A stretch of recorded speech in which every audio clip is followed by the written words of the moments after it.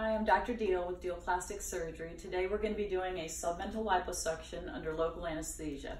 This is a really common procedure. Um, it's very well tolerated by the patients and we get beautiful results. So this is our patient. If she tips her nose down just a little bit, you can sort of see the area that frustrates her. She's got a beautiful face. She's got great skin. She just has a little bit of, of extra fullness there that um, she wants to take care of. And because of the elasticity of her skin, she's gonna get a great result.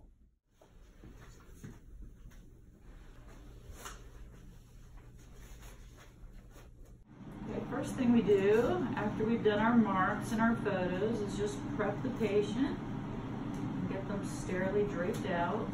Even though this is under local anesthesia, we still do it completely sterile. So now we're just very gently getting some of this numbing fluid in and she might feel a little bit of pressure, but that's about all she's feeling right now. Few breaths of the Pro-Nox, we can do this with no problem. We puff up this whole area that we want to work on and then she'll have really good numbing for the rest of the procedure. So this is our Smart Lipo laser. You can sort of see the light that's transmitted through the skin. We just gently, gently move it back and forth and back and forth.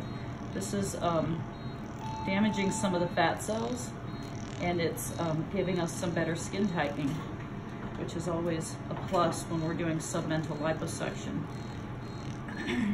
we also get less bruising with the laser. And of course, once you're not wearing your garment and out and about, you don't want bruises if we can avoid it. Our last and third step, the first step was to put the numbing in. The second step is to pass the laser. And the third step is to pass the, the um, suction cannula, which is a little three millimeter wide cannula. So our incision only has to be as wide to allow this cannula. It's a flattened spatulated tip, and then this is the side that suctions. So we're just gonna gently move this cannula back and forth, and it's a little more jerky than the, the laser. But we're just trying to get little bits of fat out, and she doesn't have very much to give, like we said, but we'll get some some reduction out um, of that very central portion on her. And more than anything, it's kind of waiting for the scar tissue and the the tissue to tighten on the inside that'll give her the best results. Cover it up with a band-aid. Put her in her compression garment. And she's ready to just get up and walk out of here.